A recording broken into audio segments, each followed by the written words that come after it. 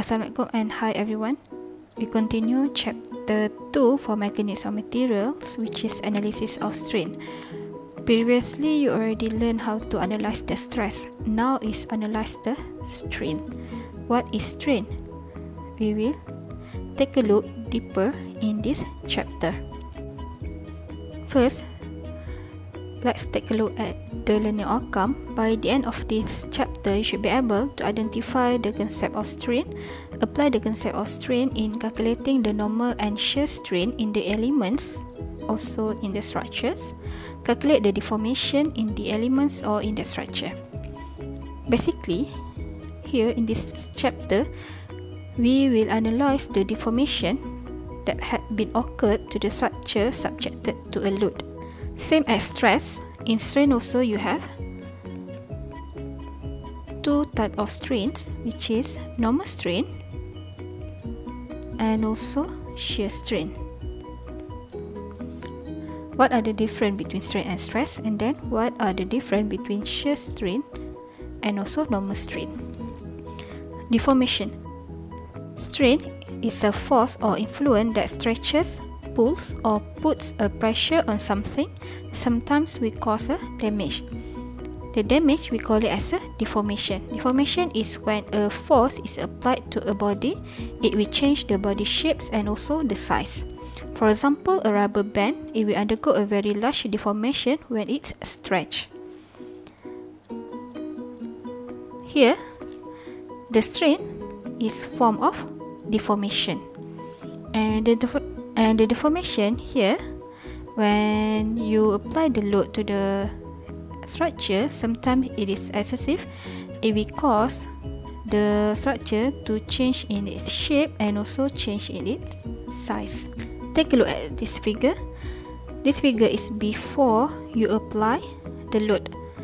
And here when you apply the load you pull this material. You can see that the dimension here the diameter is reduced. And also it become elongates. As well as the degree is change. Means that this rubber is in deformation state. For example The excessive stress in brittle materials such as concrete has caused it to strain until its fracture. The load will cause all materials to deform. If you apply the excessive load to the structure or to the material, then it will deform. You can see here the crack. This is due to the excessive load, load from up here.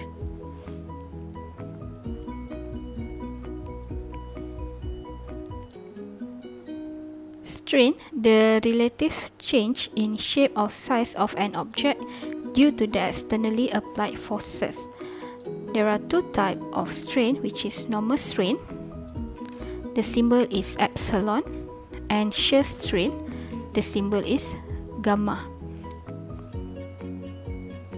What is normal strain?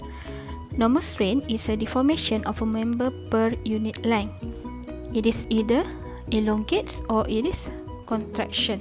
Elongates means it become elongate so that's why it is positive contraction it become shortened the average normal strain is defined as the average normal strain is equal to the final length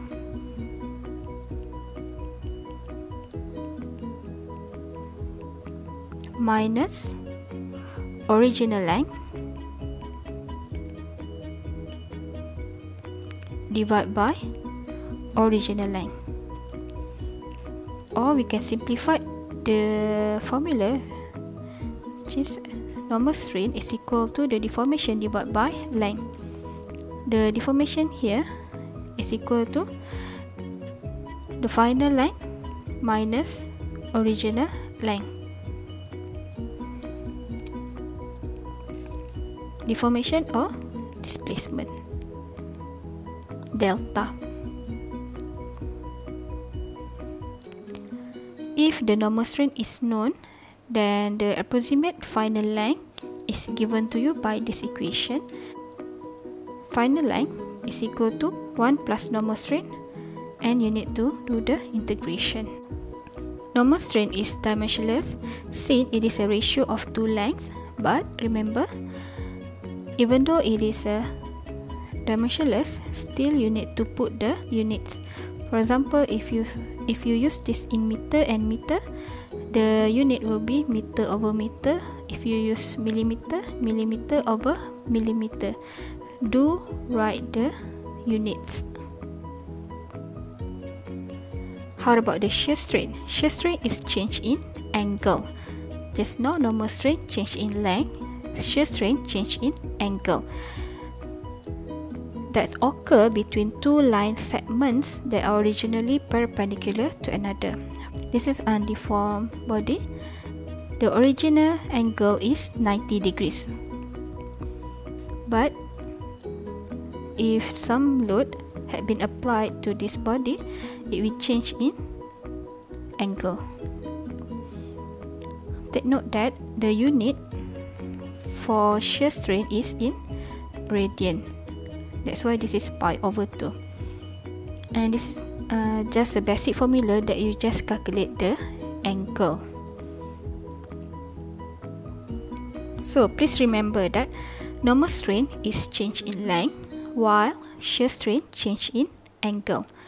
What are the difference between stress and strain? Stress is a force per unit area. You have normal stress and also shear stress.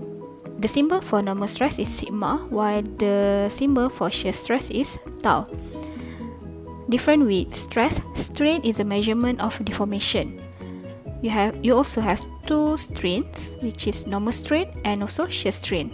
Normal strain we indicates by epsilon while shear strain with gamma. Let's take a look at this example. An air-filled rubber ball has a diameter of 150 mm. If the air pressure within it is increased until the ball's diameter become 175 mm, determine the average normal strain in the rubber.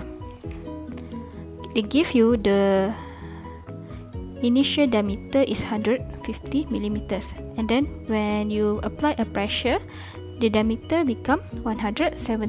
So you need to calculate the average normal strain. You know that average average normal strain is equal to the final length minus original length divided by original length or the deformation divided by original length. From the equation you know that the initial the original diameter is equal to 150 millimeters and the final diameter is equal to 175 millimeters. From here you can calculate the normal strain. The final is equal to 175. The original is 150 divided by original 150. This one is equal to 0 0.1667 I use millimeter so my unit will be millimeter over millimeter. This is how you calculate the normal strain. Read this example. The plate is deformed into the dash shape. If in this deformed shape, horizontal line on the plate remains horizontal but do not change their length, determine the average normal strain along the side of AB and the average shear strain in the plate relative to x and y axis. The question asks you to calculate the average normal strain at AB. This is A. The blue color is the original plate. And then when you apply the force, it become deformed. This one will become B prime and here is C prime. Now you have to calculate the average normal strain of AB. You know that the length of this one is 250. Now it become here AB prime. What is the length of AB prime? Here to here is given which is 3 millimeter. Can you find AB prime? Yes, by using theorem Pythagoras or hypotenuse. A is for you to calculate the normal strain of AB. Draw the free body diagram. This is A, this is A, B prime.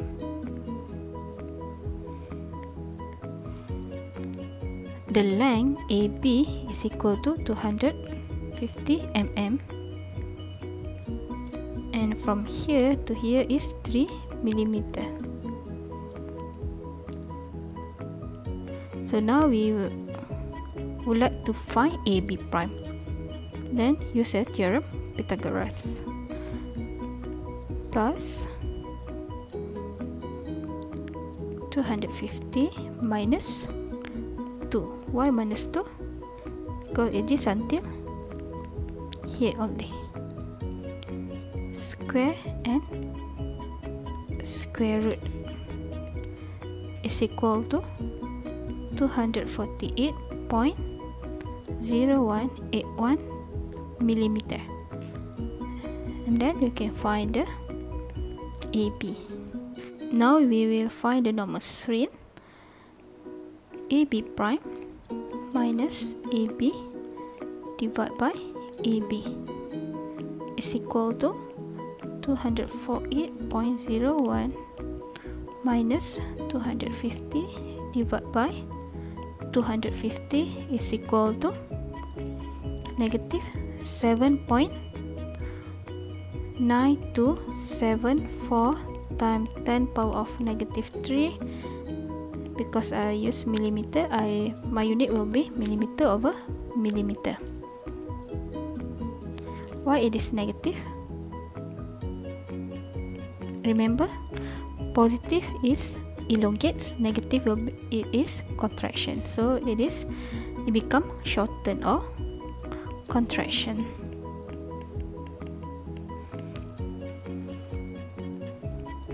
The second question is for you to calculate the average shear strain of the plate relative to x and y axis. This is your plate. You have to find the gamma here. Again,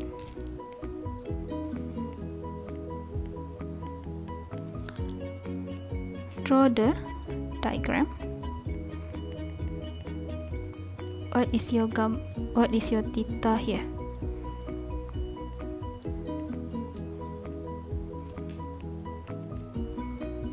how to calculate the theta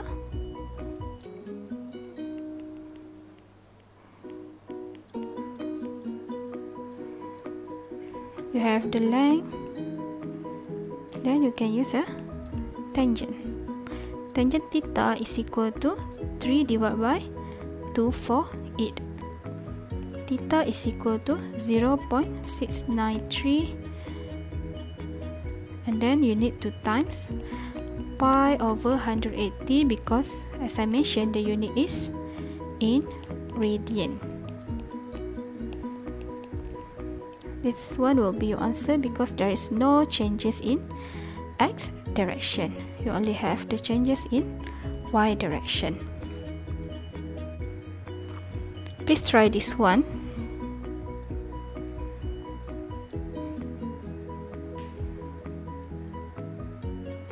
this one too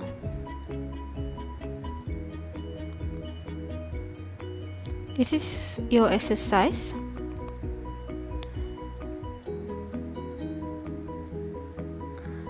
by that. Thank you